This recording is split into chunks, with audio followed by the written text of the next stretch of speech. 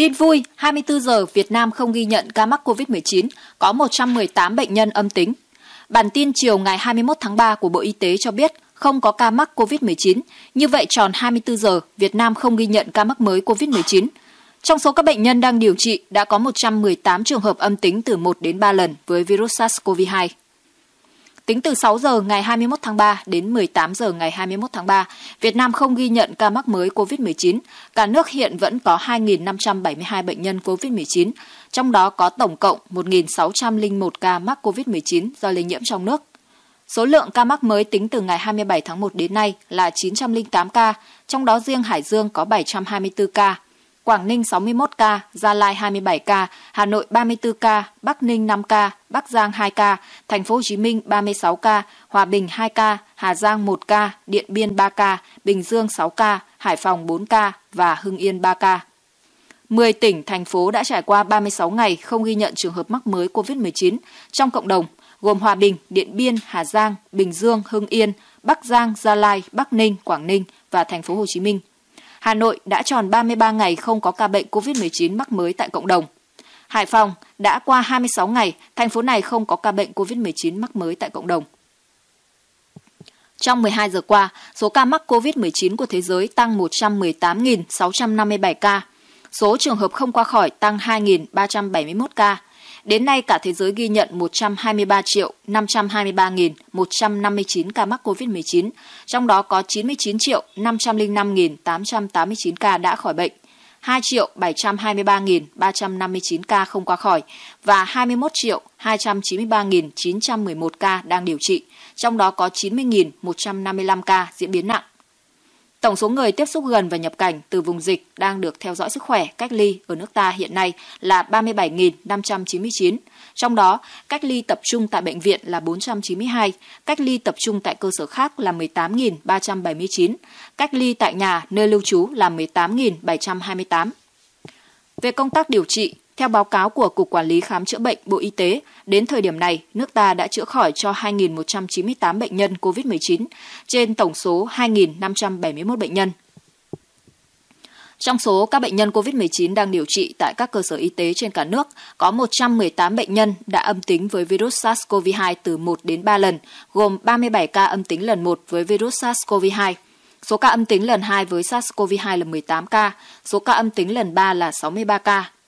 Trong số các bệnh nhân COVID-19 đang điều trị, hiện có 3 trường hợp bệnh nhân nặng, gồm 2 bệnh nhân đang điều trị tại Bệnh viện nhiệt đới Trung ương, cơ sở Đông Anh, một bệnh nhân điều trị tại Bệnh viện Phổi Đà Nẵng. Các trường hợp này đều đã có kết quả xét nghiệm âm tính với SARS-CoV-2 từ 3 đến 5 lần. Tuy nhiên, các bệnh nhân này có một số bệnh lý nền và đang tập tự thở nên vẫn đang tiếp tục theo dõi sát trong quá trình điều trị. Số ca không qua khỏi liên quan đến COVID-19 ở nước ta đến nay là 35 ca. Đây là những bệnh nhân có nhiều bệnh lý nền nặng, bao gồm tại Đà Nẵng 31 trường hợp, Quảng Nam 3 trường hợp và Quảng Trị 1 trường hợp. Để sống chung an toàn với đại dịch COVID-19, người dân cần tuân thủ thực hiện nguyên tắc 5K của Bộ Y tế, khẩu trang, khử khuẩn, khoảng cách, không tụ tập và khai báo y tế.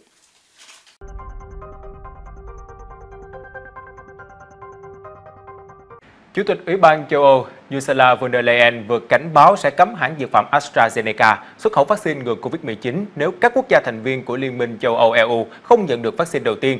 Đây là diễn biến mới nhất trong tranh cãi ngày một gây gắt giữa hai bên liên quan đến việc giao hàng bị chậm trễ.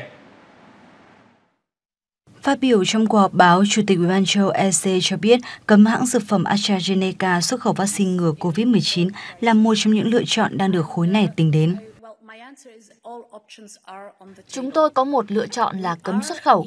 Thông điệp gửi tới AstraZeneca là hãy thực hiện đầy đủ hợp đồng với châu Âu trước khi giao vaccine cho các nước khác. Lời cảnh báo trên được đưa ra trong bối cảnh EU đang gấp rút đẩy nhanh chương trình tiêm chủng ngừa COVID-19 khi mà dịch bệnh tại nhiều nước thành viên đang diễn biến hết sức phức tạp, tỷ lệ nhiễm mới tăng mạnh, buộc chính quyền phải tái áp đặt các biện pháp hạn chế. Chủ tịch EC cho biết công ty dược phẩm Anh Thụy Điển nói trên mới chỉ giao 30% trong số 90 triệu liều vaccine AstraZeneca đã thỏa thuận trong quý 1 năm 2021. Công ty này giải thích sản xuất bị đình trệ vì các nhà máy của hãng ở EU, nhưng giới chức châu Âu không hài lòng khi AstraZeneca vẫn có thể giao hàng đầy đủ theo hợp đồng ký kết với Anh. Cơ chế cấm xuất khẩu của EU trước tiên phải do một nước thành viên đề xuất, sau đó được EC phê chuẩn trước khi có hiệu lực.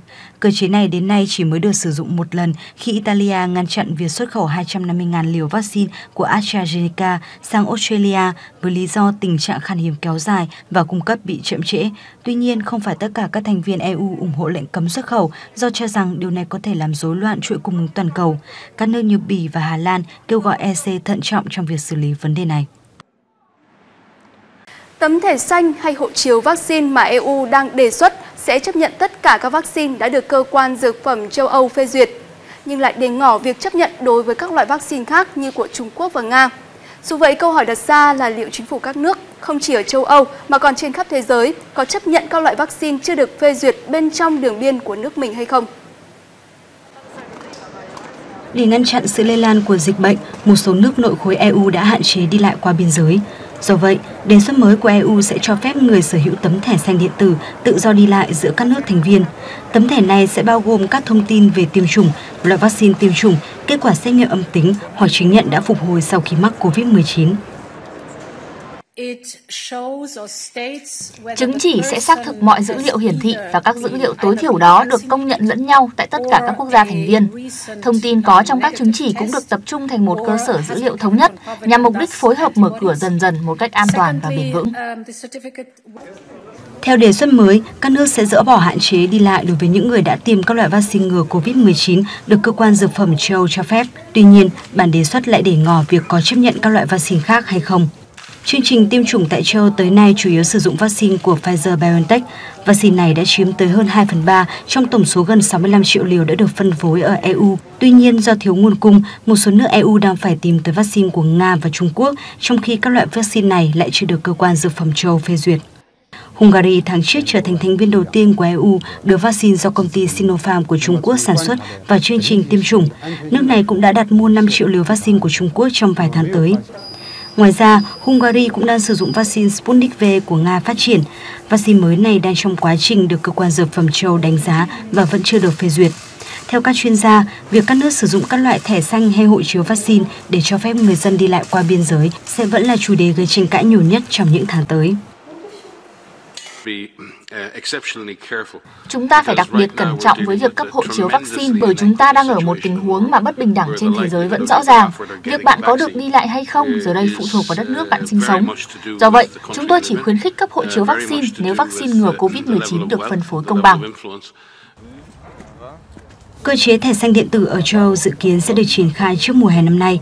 Tuy nhiên, hiện chưa rõ các nước thành viên EU có chấp nhận vaccine Trung Quốc cũng như các loại vaccine khác chưa được cơ quan dược phẩm châu Âu phê duyệt trong cơ chế chứng nhận điện tử hay không. Chỉ biết rằng, theo bản tóm tắt đề xuất, các nước thành viên có thể tự quyết định có chấp nhận nới lỏng hạn chế với các công dân EU đã tiêm loại vaccine khác hay không.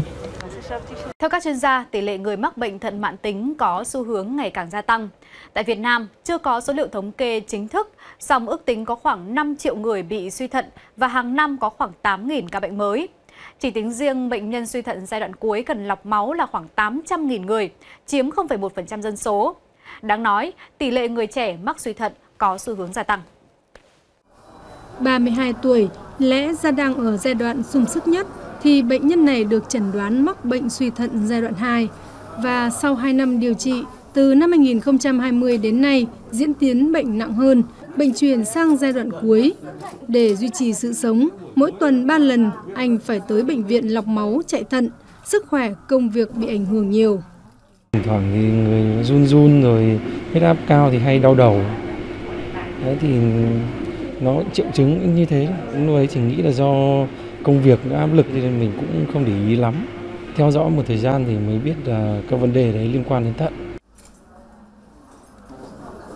Theo các bác sĩ, hiện nay người mắc bệnh suy thận đang ngày càng trẻ hóa. Nếu trước đây người mắc bệnh này thường nằm trong nhóm từ 50 đến 60 tuổi, thì hiện nay nhiều người trong độ tuổi 30 đến 50 cũng có thể mắc bệnh.